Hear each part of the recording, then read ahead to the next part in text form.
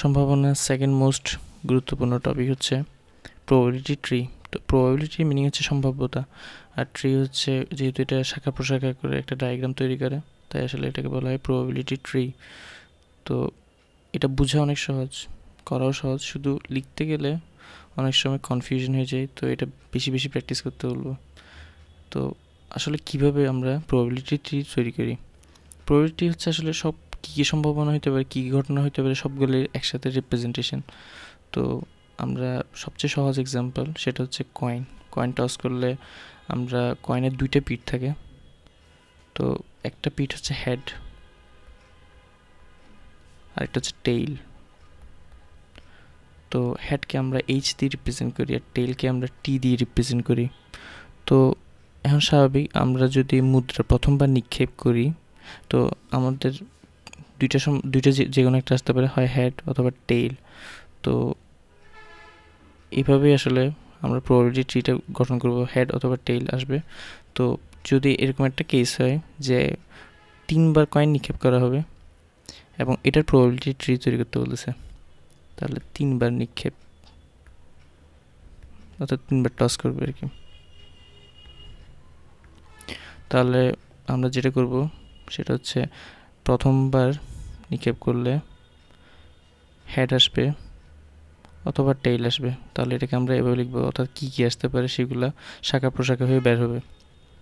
তাহলে এখানে আমরা লিখব প্রথম নিক্ষেপ।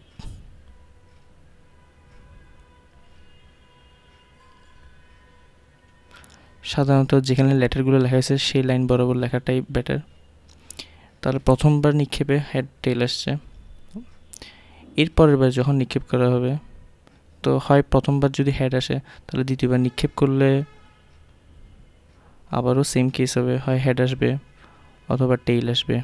অথবা প্রথমবার যদি টেইল আসে, তাও যখন দ্বিতীয়বার নিক্ষেপ করা হবে কয়েনটাকে তখন হেড আসবে অথবা টেইল আসবে। তাহলে এইটা হচ্ছে দ্বিতীয়বার নিক্ষেপের তাহলে দ্বিতীয় নিক্ষেপ তা বইয়ে অন্যভাবে লেখা হয়েছে, কিন্তু এভাবে লিখলে এই ডায়াগ্রামটা খুব সহজেই লেখা যায় এবং অন্যান্য জিনিস লেখার জন্য জায়গা থাকে। তাই আমি এভাবে লেখাটাকেই এনকারেজ করব। তাহলে এটা হচ্ছে দ্বিতীয়বার নিক্ষেপের জন্য। এবার আসি তৃতীয়বার নিক্ষেপ। তাহলে আমরা ধরে নিচ্ছি প্রথমবার হেড আসছিল, এরপর আবার হেড আসছে। তো তৃতীয়বার যখন নিক্ষেপ করা হবে, যেহেতু কয়েনের তো আর নতুন করে কোনো পিট আসে নাই হেড আর টেইলই আসবে। সেমভাবে এটার জন্য তার মানে প্রত্যেকটা বিন্দু থেকে আসলে দুইটা দুইটা করে বের হবে। তার মানে একটা হেড আর একটা টেইল সেমভাবে এটাও। হেড টেইল হেড টেইল তাহলে এটা হচ্ছে তৃতীয় নিক্ষেপ। তো আমাদেরকে এইগুলো বারবার প্র্যাকটিস করতে হবে, কারণ অনেক সময় এই জিনিসগুলো আঁকার সময় জায়গা দেওয়া যায় না, আবার লেখাগুলোরও পজিশন ঠিক মতো করে বসানো যায় না। তো কনফিউশন লেগে যায় আসলে কোনটা কোন দিকে হবে। সেই জন্য এগুলো বারবার প্র্যাকটিস করতে বলা হচ্ছে।